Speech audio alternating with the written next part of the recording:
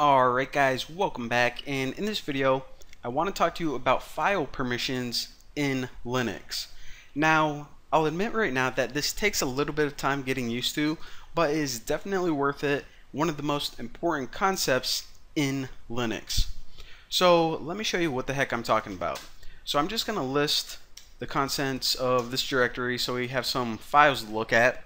Now whenever we're looking at these files and directories, we can probably figure out most of this stuff. Okay, the name, date, uh, okay. I'm getting to this part right here. What the heck is this crap? Um, okay, I see a bunch of R, W, some minuses, and Ds. Okay, no idea what that is. Well, those are all the file permissions, and each file has its own permissions.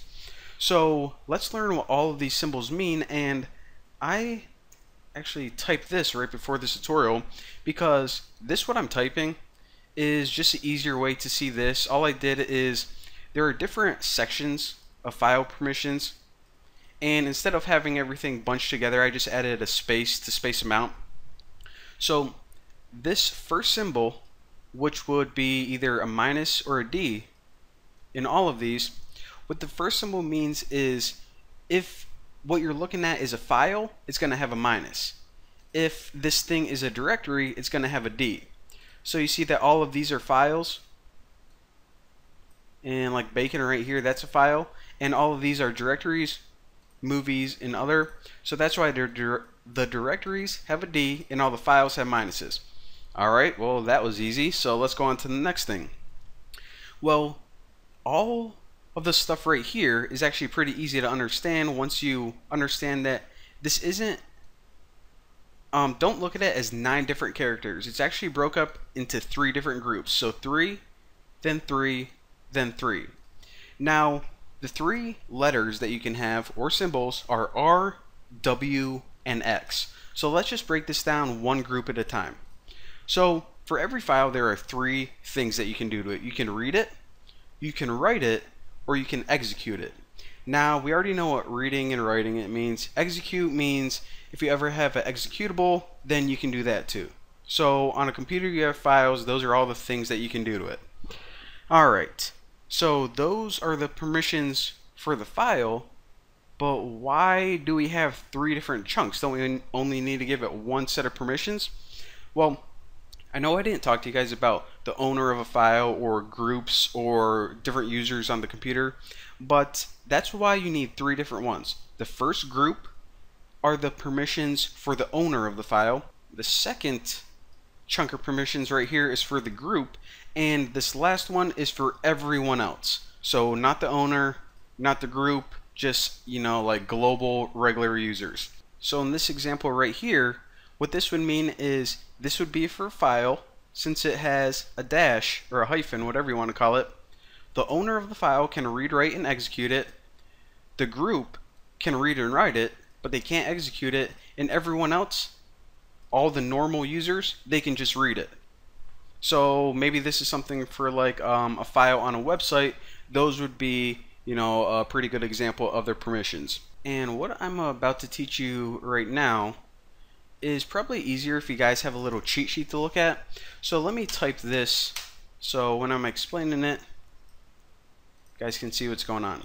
So the letter U is for user, and that would be the uh, like the main owner of the file, the the one that usually has the most privileges. So G, this stands for the group, and O, these are the people with usually the least privileges. These are just other people and I'll say like uh, from the outside world. So just keep these characters in mind right here because now I want to teach you how you would let me space this so you guys can see the whole thing. Alright. So what if we want to change the permissions for let's say this bacon file right here. So we want to say that we want to change it for normal users from the outside world and right now as we can see they can only read the file. Well let's say that we wanted to um I don't know have them be able to write it for some reason. Well to change the permissions use chmod and then it takes um well three pieces of information.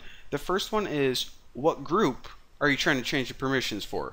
Well, we're just trying to change it for other people, the outside world, and then it's saying, okay, what do you want to do? Well, we just want to give them the right permission. And now it just takes what file, which is bacon, and check it out.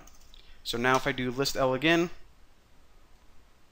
the outside world can now not only read the file like it was before, but they can also write it. Now, if you ever want to take those permissions away, write the group, what permissions you want to take away, and what file. So check it out. We just took it away. Now let me hit clear and clear that stuff out. Alright, that's simple enough, but imagine that you wanted to, you know, change the permissions around for, I don't know, maybe the user, the group, and other people. That's going to take a bunch of commands, and, you know, it's not going to take that long, maybe a minute, but we don't have time for that. So I'll show you guys the incredibly easy way, and I'll give you guys a little cheat sheet right here to easily set all of the permissions for every group at once and you guys are going to love me after this. So I'll give you guys an example like a chmod. What you can do is something like uh, a 754 and then the file name which is bacon. So in this order I'll write uh, a 754 represents the individual permissions for and I'll say in this order um, yeah I guess that's the best way to do it. So user group and other. So this first number right here is for the user the second one is for the group and the third one is for other. So you know just kind of the way that you would think of it. So alright that was easy enough. So we're given 7 to the user 5 to the group 4 to the other alright so what the heck do these numbers mean well, four, I'll just say um stands for read. Let me copy this so I don't have to type it again. Alright, so whenever you see the number 4, it stands for read. So we are giving others the ability to read this. Now 2, whenever you see a 2, if, even if it even though it wasn't in this example, this means write. So if we were to change this to 2, then we would give the others the permission to write it. So let me change that back to 4. And whenever you see a 1, this stands for execute. And guys, I know that this is kind of overwhelming right now, but after you see this a couple times, you actually get the hang of it. And most people don't even understand what this is, so you guys are going to be like pros. Alright, so 4, whenever you see a 4, it means we're giving this group the ability to read, 2 means write, and 1 means execute. Now 0, why the heck aren't you typing? Because I got numlock on. Alright, 0 stands for no permissions. So anytime you would see a dash like before, that would just mean a 0. Alright, so that's simple enough. 0, 1, 2, 4 for each individual group. But why is the 7 right here? What the heck is a 7? Well, this is the last thing I'm going to teach you, and this is where things get a little bit tricky.